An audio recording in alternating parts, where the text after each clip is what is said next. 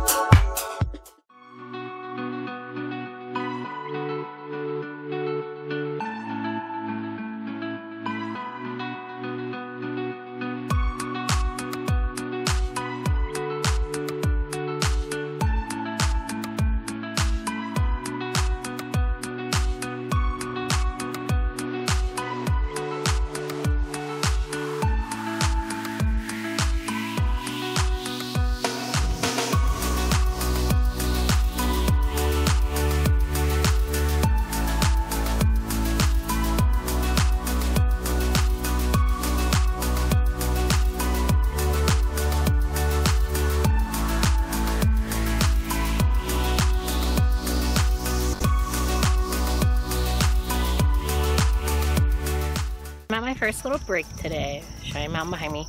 Um, there's a few things I want to talk to you about with Cheyenne Mountain State Park and Colorado State Parks in general.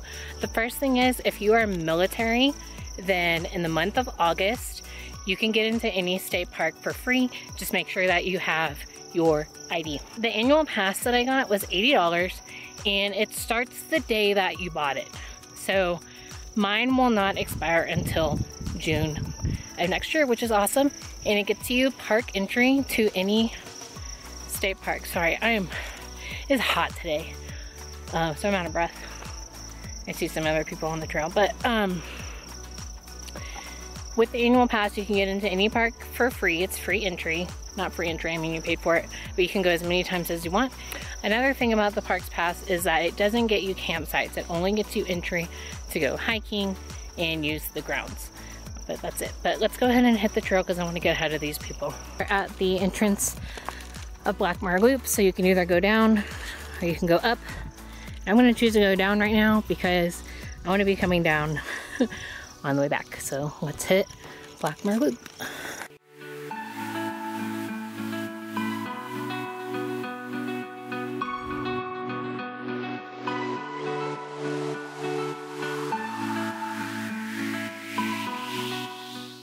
Pretty sure this is my favorite trail here at Cheyenne Mountain State Park. I like it because it is completely shaded pretty much for the most part, so it's much cooler. And I just love being in nature. I am just feeling meditative today and just reflecting on things and hiking is just a good way to clear your mind.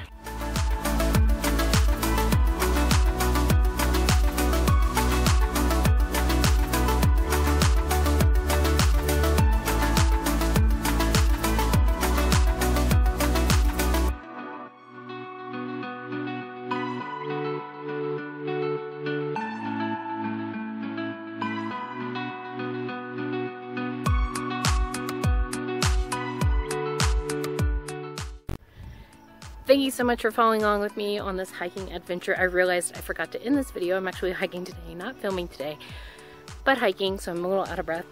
But Blackmer Loop turned out to be a lot harder than I thought. I thought I was gonna pass out at one part. I think between the altitude and probably being a little dehydrated did not help. So always make sure to stay hydrated and if you enjoyed this video and hiking with me, go ahead and give it a big thumbs up. Make sure you subscribe so you can see more hiking videos like this. And I'll see you in my next one. Happy trails!